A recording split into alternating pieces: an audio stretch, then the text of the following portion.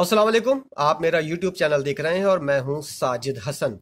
इमरान खान साहब बिल्कुल तनहा हो गए हैं और उनके साथ किसी किस्म की कोई दीगर पार्टियाँ शामिल नहीं है और इमरान खान इस वक्त बिल्कुल अकेले खेल रहे हैं। और अगर देखा जाए तो इसहाक डार की वापसी और मरियम नवाज़ की जो बेल हुई है, उसके बाद इमरान खान साहब को अब समझ लेना चाहिए कि किस तरफ़ सूरत हाल जा रही है। क्योंकि इमरान खान साहब जो हैं, उनको देख कर ही अंदाज़ा होता है कि वो इस वक्त, जब उनकी आखिरी तकरीरें आप देखें और उनके साथ जो दीगर बॉडी लैंग्वेज है, उससे ये अंदाज़ा होता है कि इमरान खान साहब को भी इस बात का अंदाज़ा हो गया है कि उनके साथ जो है, जो बैसाखियाँ कहा जाता है कि माजी के अंदर पॉलिटिकल पार्टीज़ जो कहती थी कि इमरान खान बेसाखियों के सहारे इकतदार में आए हैं, वो बेसाखियाँ हटने के बाद अब इमरान खान की पोजीशन क्या है? क्या इमरान खान लॉन्ग मार्च कर सकते हैं? यकीनन कर सकते हैं। और अगर लॉन्ग मार्च कर सकते हैं तो बैसाखियों के बगैर क्या वो अपनी बात मनवा सकते हैं या नहीं? ये एक बहुत बड़ा सवाल है जो आजकल जेर गर्दिश है। और इस सवाल को गर्दिश करना इसलिए ज़रूरी है क्योंकि इमरान खान साहब जो हैं वो प्लानिंग कर रहे हैं कि लॉन्ग मार्च का वो जल्द अज जल्द ऐलान करें। एक बहुत अहम शख्सियत और बड़ी शख्सियत ने इमरान खान साहब ने जब लास्ट सैटरडे को लॉन्ग मार्च के ऐलान की डेट का आ, कहा था कि सैटरडे को मैं डेट का ऐलान करूँगा और कुछ घंटों कबल जलसे से कुछ घंटों कबल एक बड़ी अहम शख्सियत। मैं आपको बता देता हूँ कि सदर ममलिकत आरिफ अलवी ने उनसे एक हफ़्ते का टाइम मांगा था और कहा था कि इमरान खान साहब मुझे कुछ कोशिशें करने दें और उससे पहले वो मुलाकात हो चुकी थी जो ऐवान सदर के अंदर आरिफ अलवी साहब ने जिसका बंदोबस्त किया था। और बाहिर देखकर ये अंदाज़ा होता है हालात जिस तरफ़ जा रहे हैं कि वो मुलाकात बेसूद साबित हुई है। तो अब आरिफ अलवी साहब का जो दिया हुआ एक हफ़्ता था, वो भी आज के दिन अख्ताम पजीर हो गया है। अब इमरान खान साहब ने गुजशत रोज ऐलान किया था कि किस तरह वो लॉन्ग मार्च का ऐलान करेंगे और इसी महीने, इसी वीक और इसी हफ़्ते इस बात का ऐलान किया जाएगा कि लॉन्ग मार्च होगा। और अब आज या कल आ, कुछ नहीं कह सकते क्योंकि इस हफ़्ते का कहा था ये हफ़्ता खत्म हो रहा है इतवार को यानी कि कल। और इतवार वाले दिन अगर इमरान खान साहब लॉन्ग मार्च का ऐलान नहीं करते तो एक बहुत बड़ी सुबकी भी हो सकती है क्योंकि कहा यही गया था पीटीआई के अरकान की जानब से और ख़ास तौर पर फवाद चौधरी साहब की जानब से कि लॉन्ग मार्च का ऐलान जो है वो इसी हफ़्ते होगा और इमरान खान साहब बाकायदा ऐलान करेंगे।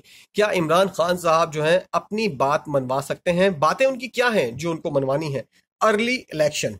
इमरान खान साहब को एक लॉलीपॉप दिया गया था कि मार्च के महीने में आपको इंतबात मिल जाएँगे, लेकिन इमरान खान साहब जो हैं वो इस बात पर राज़ी नहीं हुए थे। और साथ साथ अगर आपको ये भी बताएँ कि इमरान खान साहब अगर मार्च के अंदर लॉलीपॉप जो उनको मिला है इंतबात का, उसके अंदर अगर वो राज़ी भी हो जाते हैं, तब भी उनको अब इस वक्त करने के लिए कुछ नहीं है।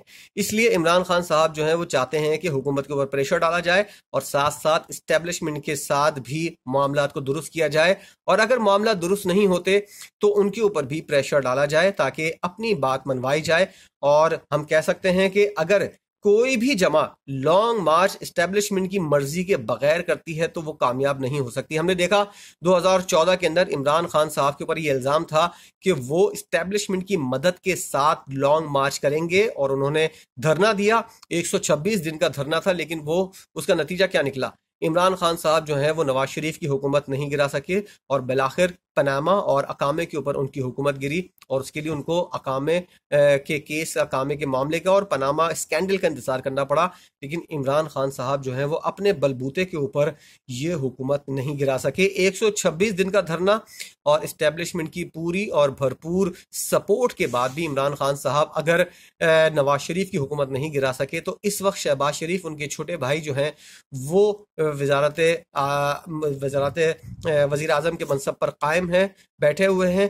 और उसको गिराने के लिए, इनकी हुकूमत को गिराने के लिए जिसकी तेरह पार्टियाँ साथ दे रही हैं, उसको गिराने के लिए उनको काफ़ी जद्दोजहद करना होगी। अब आने वाले दिनों में हम क्या देखते हैं? इमरान खान साहब अगर लॉन्ग मार्च का ऐलान कर भी दें तो इस्लामाबाद की सूरत हाल ऐसी नहीं है कि इमरान खान साहब आएँ और अपनी मर्ज़ी से यहाँ आकर बैठ जाएँ, जैसा कि हमने दो हज़ार चौदह में देखा था। इमरान खान साहब को एक बहुत बड़ी मुसीबत का सामना इस सूरत में करना पड़ेगा, क्योंकि राना सनाउल्ला वज़ीर दाखिला हैं और उनको बकौल अगर एक हफ़्ते के पिछले बयान देखें तो उनके बयान से ही अंदाज़ा होता है कि इमरान खान साहब के लॉन्ग मार्च और इस्लामाबाद में आने के लिए उन्होंने भरपूर तैयारी की हुई है और उनका यह भी कहना है कि अगर सूबाई हुकूमतें जो इमरान खान के जेर असर हैं, अगर वो भी हमको सपोर्ट ना दें, यानी कि पुलिस की मदद उनकी तरफ़ से हासिल ना हो, तब भी एफसी और रेंजर्स के साथ हम इस मामले को निमट लेंगे। अब देखना यह है कि लॉन्ग मार्च की डेट कब आती है और इमरान खान साहब इस्टेब्लिशमेंट की मदद के बगैर कितने कामयाब होते हैं इस लॉन्ग मार्च में और साथ साथ अगर वो धरना देना चाहें या हुकूमत के ऊपर दबाव डालना चाहें, अपनी बात मनवाना चाहें, उसके लिए इमरान खान साहब को काफ़ी मेहनत करना होगी और उसके लिए तरीक़ेकार इमरान खान साहब क्या इख्तियार करते हैं, ये हम आने वाले दिनों में देखेंगे। और इतवार का दिन अगर बहुत अहम है तो वो उस डेट के हवाले से है, क्योंकि हमने देखा कि ऑडियो लीक्स जो हैं और हैकर उसकी तरफ़ से किसी किस्म का कोई जो है, जो ऑडियोज लीक हुई थी या किसी किस्म की वीडियोस आने के बारे में कहा जा रहा था, वो एकदम ठुस साबित हुई हैं। उनसे किसी किस्म का कोई असर पाकिस्तान की सियासत के ऊपर इतना ज़्यादा गहरा नहीं पड़ा है, जितना इसके बारे में बताया जा रहा था कि हिजियान बर्पा हो जाएगा पाकिस्तान की सियासत के अंदर और किसी किस्म की कोई ऐसी चीज़ साबित नहीं हो सकी जिसे हम कह सकें कि हाँ पाकिस्तान की सियासत के अंदर इन ऑडियो लीक्स की वजह से काफ़ी तब्दीलियाँ आई हैं। तो आने वाले दिनों में हम देखते हैं कि ऑडियो लीक्स कैसी आती हैं। किस किस्म की आती हैं और कितनी असरअंदाज होने वाली आती हैं, जिससे ये अंदाज़ा लगाना मुश्किल नहीं होगा कि आने वाले दिनों में पाकिस्तानी सियासत किस रुख पर जा रही है। हम इंतज़ार कर रहे हैं, आप इंतज़ार करें और देखते हैं इमरान खान साहब अब अगली चाल क्या चलेंगे, ये जहन में रखते हुए कि अब उनके सर के ऊपर वो हाथ नहीं है और उनके हाथों में वो बेसाखियाँ नहीं है, यानी कि स्टैब्लिशमेंट की मदद नहीं है। अब इमरान खान अकेले और तनहा कितनी आगे जाते हैं? किस हद तक जाते हैं और कब तक अपनी बातें मनवा सकते हैं। वीडियो आपने देखी? आ, इसके ऊपर अगर आप कमेंट करना चाहें तो कमेंट भी कीजिए और जो आपकी राय है आप इससे इत्तेफाक करते हैं या नहीं इस हवाले से आप जो दिल में आए कह सकते हैं और अपनी बात का इजहार कर सकते हैं। कोशिश करूँगा कि मैं अगली वीडियो के अंदर उन बातों का जवाब भी दे सकूँ। चैनल को आपने सब्सक्राइब नहीं किया तो साजिद हसन ऑफिशियल को सब्सक्राइब कीजिए और वीडियो को लाइक भी कीजिएगा।